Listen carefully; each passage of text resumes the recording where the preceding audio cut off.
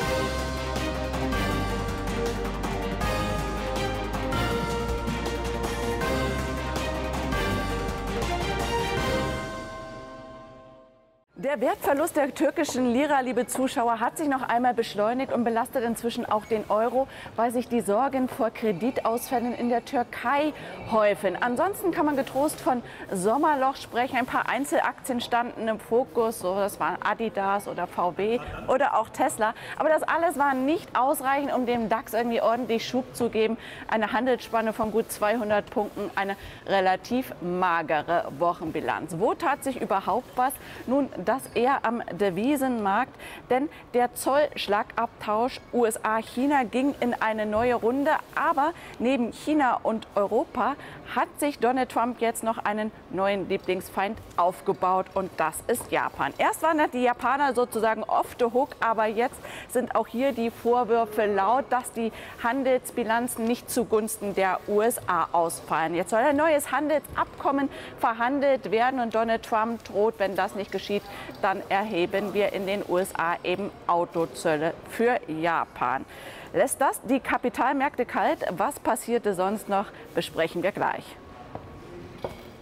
Ja, in diesem Sommerloch hat vielleicht der eine oder andere mit dem einen oder anderen Tweet Geld verdient, könnte man ein bisschen hämisch sagen. Und von wegen nur Instagram-Stars verdienen Geld mit dem, was sie da so in die Welt posaunen. Nein, aber Spaß beiseite. Bewegung gab es vor allem am Devisenmarkt. Wir sprachen die türkische Lira schon an. Was sich sonst noch tat, welche Handelsaktivitäten besonders hervorstachen, das besprechen wir mit Christian Boleritsch von GKFX. Schönen guten Tag, Herr Boleritsch. Hallo, Freier. Ja, Donald Trump zieht weitere Kreise und das lässt vor allem ähm, Spuren am Devisenmarkt aufblitzen. Wo ganz besonders? Ja, aktuell ähm, das Thema ähm, US-Dollar versus japanischer Yen. Mhm. Ähm, denn äh, Donald Trump hat sich jetzt Japan vorgenommen. Oh. Längere, längere Zeit äh, wurde Japan nicht im Blickfeld betrachtet mit seinen Handelsüberschüssen. Jetzt ist es soweit, dass auch Japan äh, entsprechend auf der Agenda steht denn ähm, die Handelsüberschüsse sollen geringer ausfallen. Und ähm, ja, da wird es sicherlich auch in den Devisenmärkten bestimmt das eine oder andere an Volatilität geben. Denn ähm, wir sehen zwar hier charttechnisch die Kerzen hier auf Tagesbasis, dass wir hier einen starken US-Dollar haben. Ja. Aber das ist nicht im Sinne von Donald Trump höchstwahrscheinlich, sondern er möchte, dass die Währung, in, äh, der US-Dollar, äh, etwas schwächelt äh, im Gegensatz zum Yen, damit Vorteile äh, entsprechend äh, geringer ausfallen. Denn äh, die Japaner exportieren sehr viele Autos auch nach Amerika. Donald Trump wünscht sich einen schwächeren Dollar, aber starke US-Börsen. Und demnach ist auch der DAX viel tiefer ins Sommerloch gefallen mhm. als die US-Börsen. Gibt es da jetzt Impulse? Was können die Trader beachten? Gibt der Chart ein bisschen was her? Ja, also die Handelsspanne äh, ist relativ äh, dünn momentan. Ich habe das mal äh, hier mitgebracht. Äh, auch in der letzten Sendung habe ich ja gesagt, äh, so wie es ausschaut, werden wir uns wahrscheinlich in einer Range bewegen, ähm, die sich hier im Tief bzw. im Hoch darstellt. Mhm. Und diese Range, diese Spanne scheint ähm, noch enger gefasst zu sein.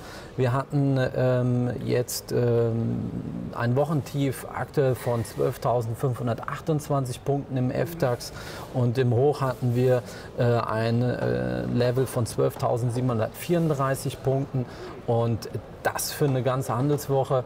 Ich kenne noch Zeiten, da waren 200 äh, Indexpunkte, äh, Handelsspanne super, aber für Trader ist das momentan nicht Fisch, nicht Fleisch. Mm, für Trader ist das nichts. Gucken wir mal, was sich so an äh, Datenfakten tut, dass da ein bisschen Musik reinkommt. Sieht vor allem auf Unternehmensseite nun relativ dünn aus. Ne? Berichtssaison läuft aus, aber so ein paar Versprengte gibt es noch. Ja, definitiv. Also ähm, ohne jetzt die Wahrsagerkugel zu haben, der Klassiker RWE. Also wie RWE seine Zahlen liefern wird, wird das wahrscheinlich auf E.ON abstrahlen. Mhm. Äh, davon ist äh, im Regelfall auszugehen. Wenn man die Tagesgewinner und Tagesverlierer sieht, sieht man äh, beide Versorger meistens sind wieder oben oder unten ähm, an der Stelle. Äh, HelloFresh wird der eine oder andere auch kennen, ein Kochbox-Anbieter in verschiedenen Ländern aktiv, mhm. ist letztes Jahr an die Börse gegangen. Ähm, sicherlich äh, auch im Blickfeld dessen, äh, was bringen diese neuen IPOs mhm. auch für Zahlen zustande. Interessant, ähm, Hamburger Hafen und Logistik AG. Ähm, Nun, die werden sicherlich ähm, auch Zahlen liefern oder vielleicht auch Informationen mal abgeben, was das bedeutet mit diesem Thema Handelskrieg, Zöll, ne? mit Was- den Zöllen. Wie haut das auf die durch? Wie wird das mit den Waren sein? Ja, denn verstärkt ist zu beobachten, dass viele Sachen vorgezogen werden momentan.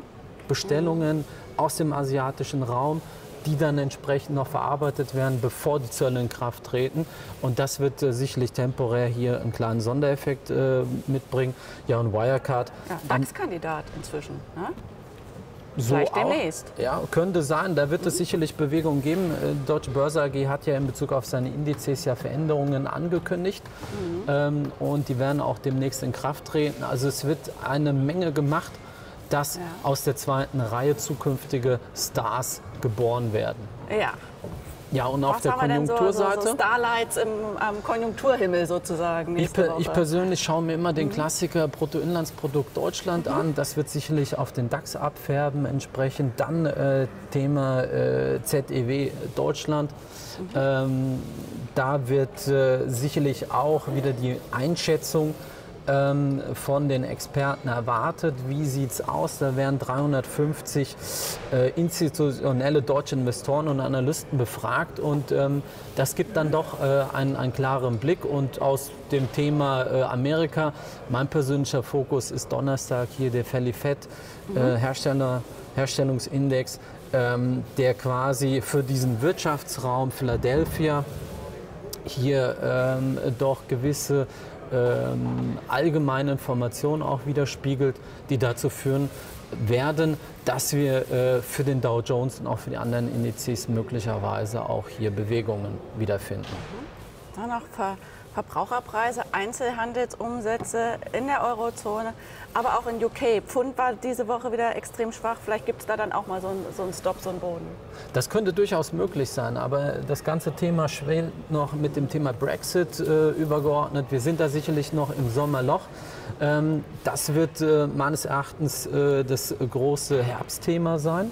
Ja, weil die Leute wollen entsprechend äh, immer näher rücken zu dem äh, Termin äh, in der Zukunft ähm, klare Aussagen haben. Und daran wird sich das eine oder andere im Herbst, spätestens im Winter auch darstellen. Und wie gesagt, der Fokus für viele Trader auch in Richtung UK, ob es der FTSE ist oder das britische Pfund, beides sehr interessante Trading-Möglichkeiten. Okay, dann verspricht ja ein heißer Herbst zu werden. Möge Ja. Donald Trump dann mit seinen Wahlen auch noch ein bisschen an der Zollfront für Ruhe gesorgt haben. Christian Woderitsch, vielen Dank. Liebe Zuschauer, 200 Punkte Handelsspanne in einer Woche im DAX. Man darf das Wort Sommerloch getrost mit einem Ausrufezeichen versehen. Nichts so am Devisenmarkt. Die türkische Lira verliert weiter, allein in zwei Tagen 15 Prozent. Das britische Pfund schwach. Dollar-Yen, das Währungspaar im Fokus, weil Donald Trump jetzt auch noch die Japaner mit Zöllen belegen möchte. Das alles könnte aber vielleicht durch sein mit den Zwischenwahlen in den USA im November. Und dann löst vielleicht ähm, der Brexit und die Thematik darum das neue Thema ab. Was kommt, wie es kommt, natürlich immer mit Updates von der Aktionär TV.